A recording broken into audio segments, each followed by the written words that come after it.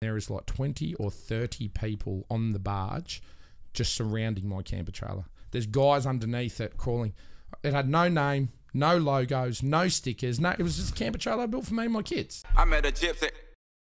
Yeah. And we have been first to market on every product that we've created. There's nothing that Patriot Campers has ever done, ever. And this is a big statement, but there's nothing we've ever done that uh, was a competitive product to anybody else in, in the market. We've always gone into market sectors that didn't exist. Yeah, you know, right. from uh, the camper trailers. You know, when we built the first camper trailer seven years ago, there was nothing that resembled a Patriot camper anywhere in the world. Really? Really, really, like there was nothing that resembled a Patriot camper. And so, where did that inspiration come from in you? Well, that inspiration for the first design was we were avid campers. So my kids were, my boys were when we started when we built the first camper trailer. The boys were about eight years old, and me was about five years old, and that's what we did every weekend. We Yeah. went camping. And we bought from your two thousand dollars shitbox uh, trailers because that's all we could afford at that time. Up to the last camper trailer that we bought was about seventy odd grand. Couldn't afford it. I've got a real hardcore motto, and I've had it my whole life. We do not finance toys. If we can't afford it, we don't buy it. We actually finance this camper trailer. It was something that would enrich my family time. Yeah. It's something that would have made camping easier for us, and we could use it as a family. And it was to me, it was it was an asset. You know what I mean?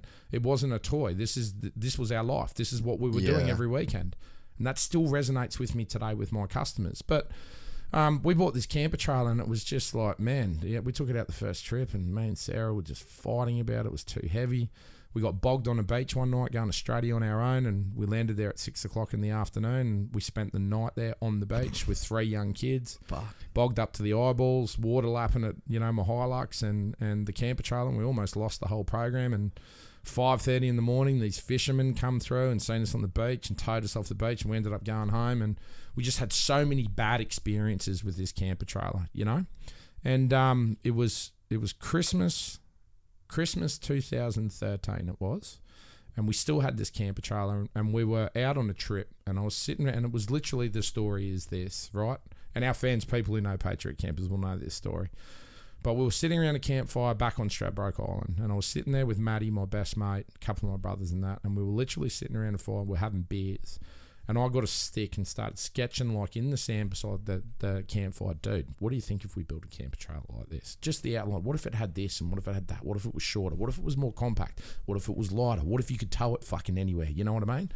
And we started having these, you know, these conversations, and it was literally we got back straight after Christmas, and I was like, you know that skit with Mr. Burns, the aviator scene where he locks himself in that room? Yeah, yeah, yeah, yeah. That was me for like six weeks, man. really. Nobody would come anywhere near me. Didn't go home. Slept at the office seven days a week, 16 hours a day. My whole office just scattered in samples of stoves and electrical. I knew nothing about building a camper trailer. I was I was I was a laser cutter then. I was obviously sheet metal, you know, and we were building electrical switchboards. So I used all of the design technique that I knew from switchboards. Anyway, I designed this camper trailer and uh, I had the design finished and I printed it all out, proud as punch. You know, it's in this laminated folder and I'm like, we're going to dinner with all of our friends at my brother in law's restaurant down in Robina. So I turn up there, I'm like, babe, it's finished, it's done, here's the, here's the fucking design. Sit down with all my friends, start going through the pages, and there was like 10 people at the table and everyone's looking at me like, has this motherfucker lost his mind? He has gone off. He's the lost. He's lost his mind. That's what everybody was looking at me, you know. And it was, and I got, I, I felt that, yeah. and I and I felt all my friends looking at me like, don't get me wrong, everybody put on a, like, yeah, dude, good on you, but looking at me like, are you for? And I'm like, man, I'm going to build a camper trailer, and everybody started, you know, looking at me weird. Anyway, this is we're in 2014 by then, you know, like January 2014. So anyway, whatever, like typical me, what, yeah, whatever, dude. I'm going to build the camper trailer anyway we started building this camper trailer in like February. We built the chassis, built the box set, and then my business got really, really busy. Yeah, uh, so we parked it down the back. Comes June that year, um, I'm like, right, pull that, pull that trailer out. We'll, we'll finish it off. We finish it. The powder coater comes up to me, you know, and he goes, "Man, what color do you want me? One of my stuff. What color do you want me to paint it?" I said, "Mate, what color have we got the most of? What's excess? Because I don't want to waste any money." Yeah. He goes, "Oh, we got this green down back, the back that we were using for Energex or whatever." I said, "Yeah, man, just just paint it in that, which is now the company color. It's what Patriot Campers is famous for. Is this is this uh, color?" And um, so we finished it. We finished the camper trailer, and it's like July by then. It's my birthday, my birthday weekend. We go back to Stradbroke Island because we're there every weekend. So we're driving in the dark, 4 a.m., going to the ferry. We get onto the ferry. I grab the kids. We go upstairs on the ferry to grab breakfast. Yeah, up there having breakfast. Come down. Sun's just coming up, and there is like 20 or 30 people on the barge, just surrounding my camper trailer. There's guys underneath it crawling. It had no name, no logos, no stickers. No, it was just a camper trailer I built for me and my kids. You know, and all these people are looking at it, and they were like, "What is this?" I'm like, "Oh man, it's just a camper trailer I built," and I'm like. And that's what I'm like, dude. I'm onto something here, eh? So you didn't have any like commercial No, bro. ideas until it was done and you're on that Till it fucking was boat. done. Till it, till it was finished. Every it, Hey, I, I the built- market decides. The market decides. We get back like three weeks later. Camper Trailer Australia magazine ring the office at Express Metal Products.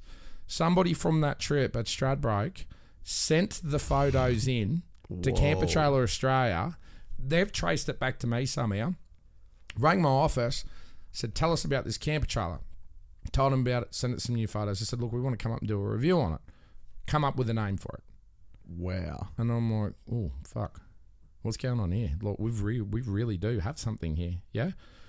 So they've come up, they've done the review on it. In the meantime, me and Sarah every night on the couch, A4 piece of paper, writing down all of these names. We had f- like foolscap book filled, like filled with names. And me and Sarah were sitting on the couch one night in between, and we're like, I don't know who said it. We still we don't argue about it. We agree that it was both of us. Somebody said it, and it was just like oh, high five. That's it, Patriot Campers. That's the name. Wow. The patriotism comes from our patriotism surrounding Australian manufacturing. People think that we picked that because of the US market. You got to go back to where we were at that stage. We weren't Yeah. smart enough to be thinking about the US. I was gonna say like that's the ha- that's the happiest accident because like Patriot in Yeah, that- America yep. is like fucking bang. Oh, that's- that. man, Like, that's- yep. You could not have nailed it. couldn't have harder. got couldn't have got a better.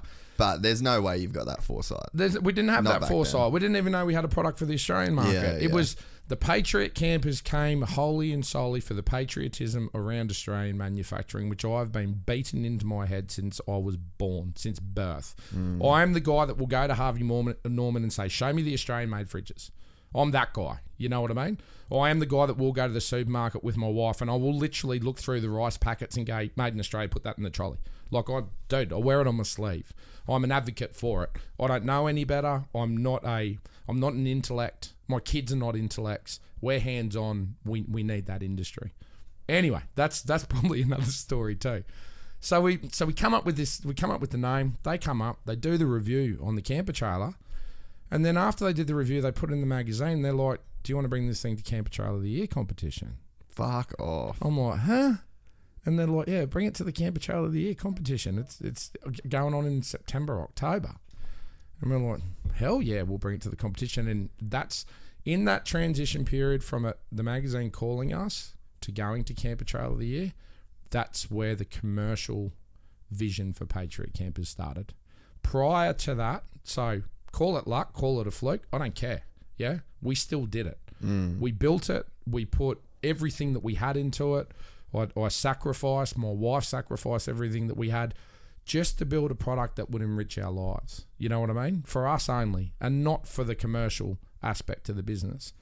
We go to Camper Trailer of the Year that year and we win it. Australian Camper Trailer of the Year. And it was just like, dude, it's on. That is insane, man. That's the story. We've won it seven times, seven years now. We've won it. You know, Wow. the business is eight years old. If you enjoyed this content, please like and subscribe. And to listen to the full three hour podcast, search Gypsy Tales in your favorite podcast platform or click the link in the description below. Gypsy Gang.